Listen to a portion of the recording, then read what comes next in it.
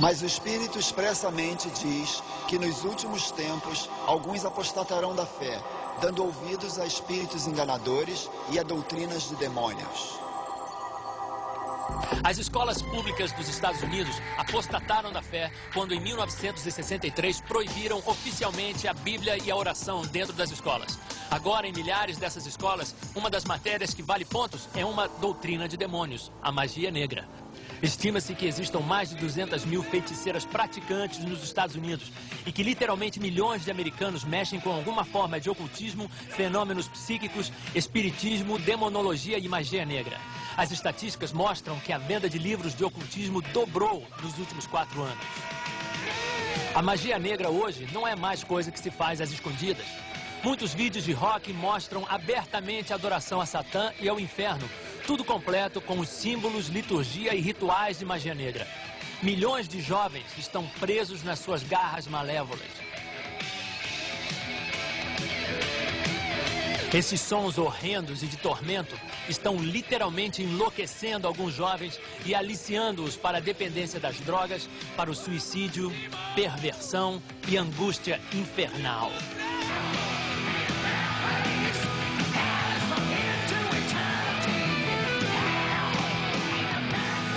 Aos poucos, o mundo foi capturado por espíritos enganadores, ao ponto de hoje aceitarem até os atos mais descarados de blasfêmia e profanação. No livro do Apocalipse, o apóstolo João previu que nos últimos dias o mundo se desviaria de Deus e adoraria e seguiria Satã.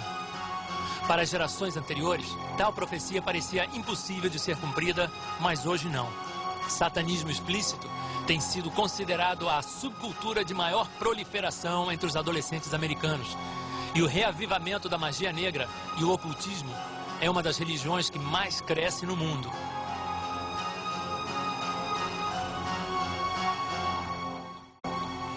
Depois de dizer aos seus discípulos que alguns desses sinais que você acabou de ver, guerras, fomes, pragas e terremotos, eram apenas o princípio das dores, Jesus profetizou um sinal que mostraria que o fim tinha realmente chegado.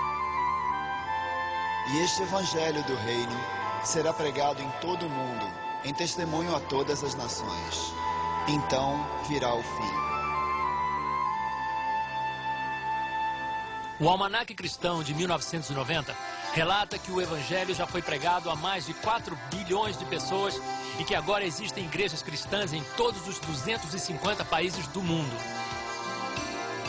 Todos os anos são distribuídos aproximadamente 4 bilhões de folhetos do Evangelho no mundo e mais de 120 milhões de Bíblias. A Bíblia inteira, ou trechos dela, já foram traduzidos para 2.062 idiomas e 98% da população do mundo tem acesso a uma Bíblia.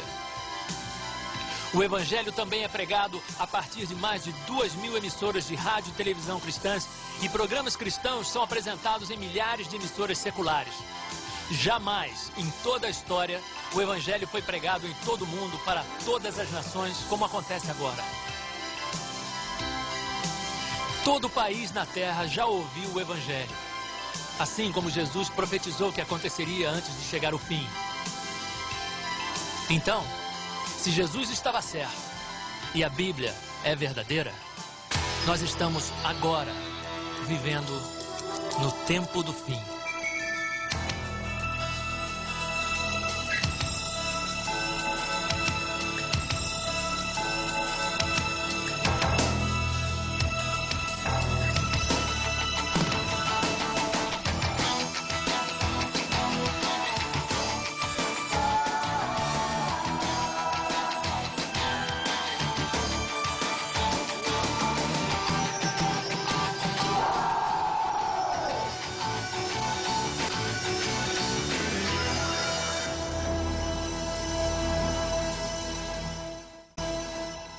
No princípio do capítulo 16 de Mateus, os inimigos religiosos de Jesus o desafiaram a lhes mostrar um sinal do céu. Ele respondeu-lhes: Quando chega a tarde, vocês dizem: haverá bom tempo, pois o céu está avermelhado. E de manhã, hoje haverá tempestade, pois o céu está de um vermelho sombrio. Hipócritas, vocês sabem interpretar a face do céu e não conhecem Os sinais dos tempos. A tecnologia moderna melhorou grandemente a nossa habilidade de prever o tempo. Mas será que somos cegos para os sinais escuros da época na qual estamos vivendo? Igualmente vós, quando virdes todas estas coisas, sabei que ele está próximo, às portas. Em verdade vos digo que não passará esta geração sem que todas estas coisas aconteçam. Nossa geração, a geração na qual estes sinais do fim estão se cumprindo, não passará até que tudo se cumpra. Então, o que falta ainda acontecer? Bem, um dos últimos sinais do fim propriamente dito é a ascensão de um governo único mundial, liderado por um ditador sobre-humano. O Anticristo. O Anticristo, também mencionado na Bíblia como o filho da perdição e a besta. Ele, como Hitler, que foi um protótipo do anticristo na história, será possuidor de grande carisma e oratória. Falará coisas espantosas.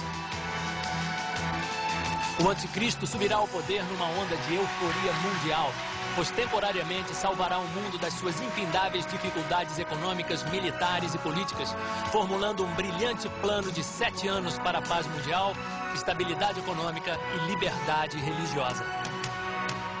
O anticristo poderia muito bem surgir do atual caos na União Soviética.